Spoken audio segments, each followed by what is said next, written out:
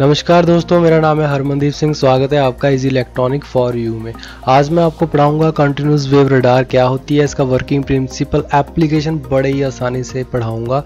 आपने आज तक ऐसी कोई वीडियो लेक्चर नहीं देखा होगा जिसमें आपको सब समझ आ जाए। इस, इसमें आपको ज़्यादा पढ़ने की ज़रूरत नहीं है सिर्फ़ वर्किंग तक आप इस वीडियो को देख लीजिए उसके बाद आपको सब समझ आ जाएगा। शुरू करने से पहले एक मोटिवेशनल कोट भरोसा खुद पर रखोगे तो ताकत बन जाती है।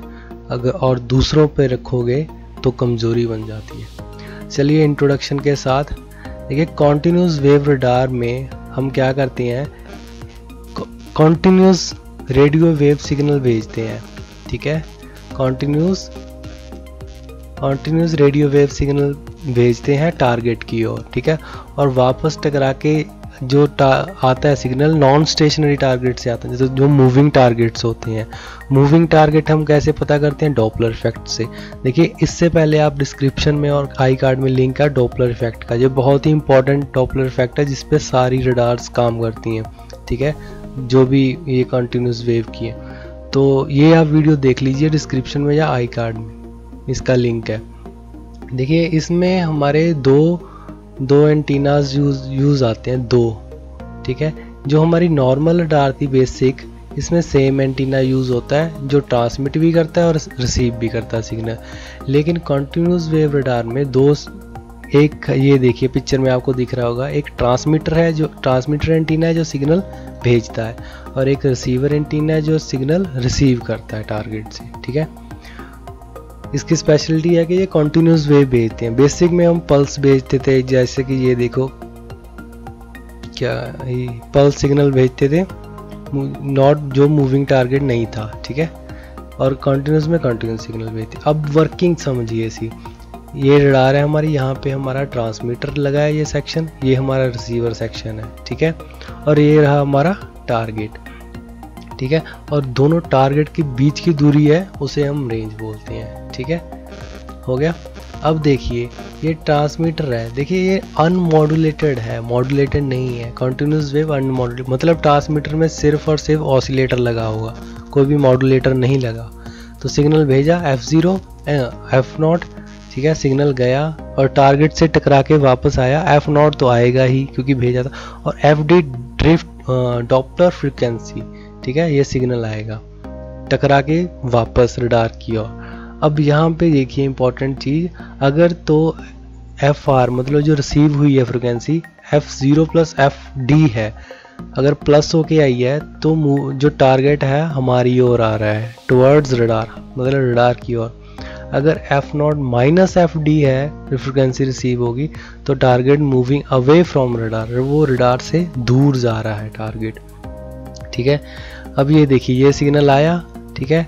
डिटेक्टर ने डिटेक्ट कर लिया और ये मिक्सर है। मिक्सर एज अ डिफ्रेंशिएटर काम करेगा क्योंकि इस, इसके पास दोनों सिग्नल आ रहे हैं। ये पहला जो हमने भेजा था और ये जो ये क्या करेगा? इसको पता है कि एफ़ ज़ीरो हमने तो इसने भेजा ही था सिग्नल तो क्या करेगा?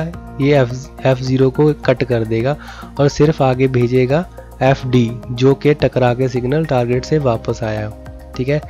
तो बीट फ्रिक्वेंसी एम्पलीफायर इसको एम्पलीफाई कर देगा एम्पलीफाइड वर्जन और, और इंडिकेटर इसको डिस्प्ले में इंडिकेट कर देगा ठीक है? ये है इसकी वर्किंग देखिए दोस्तों अगर हमने इसमें से वेलोसिटी पता करनी है कि ब्लॉक की कितनी स्पीड से टारगेट आ रहा है तो उसके लिए देखिए अब थोड़ा सा थोड़ा सा ही है बस ज़्यादा नहीं। आर क्या है? रेंज तो ठीक है? इन दोनों के बीच की वेवलेंथ कितनी है? मान ली लैम्डा डिस्टेंस है यूनिट वेवलेंथ टोटल वेवलेंथ कितनी हुई? Total distance over unit wavelength total distance कितना? टू आर ये देखिए आर आर सिग्नल पहले आर डिस्टेंस गया सिग्नल फिर आर डिस्टेंस वापस आया। मतलब टोटल कितना हो गया? टू आर टू आर तो टोटल डिस्टेंस बटे अपॉन यूनिट वेवलेंथ ठीक है? ये हमारी वेवलेंथ होगी। और वन वेवलेंथ में होता है टू पाई रेडियन तो टोटल फेस कितना हुआ? इन दोनों को मल्टीप्लाई कर देंगे सिंपल ये इसका फॉर्मूला है और कुछ नहीं है फेस निकालने का। फेस निकल गया। अब देखिए। ये निकाली हमने F D frequency drift Doppler frequency का हमारा वेलोसिटी से क्या रिलेशन है वो निकालना है हमने। ठीक है? देखिए, हमें पता है कि एंगुलर फ्रिक्वेंसी क्या होती है? Change of phase with respect to time D five by D T five कितना ये हमने निकाला यहाँ पे ठीक है? टू तो क्या होगा? Four pi R by lambda. Four pi by lambda constant बाहर आ गए। आर रेंज कितनी है? रेंज किसके बराबर होती है? वेलोसिटी रिलेटिव वेलोसिटी ठीक है? मतलब इसके रिलेशन में रिलेटिव में है। तो यहाँ से हम पता कर लेंगे एफ़ डी क्या का, क्या रिलेशन क्या है? रिलेटिव वेलोसिटी के साथ तो हम यहाँ से वेलोसिटी भी निकाल सकते हैं। दोस्तों, आपको ये वर्किंग पूरी की पूरी समझ आ गई होगी। अगर नहीं आई तो ये थोड़ी सी पीछे जाके वीडियो देख लीजिए, आपको ज़रूर समझ में आ जाएगी।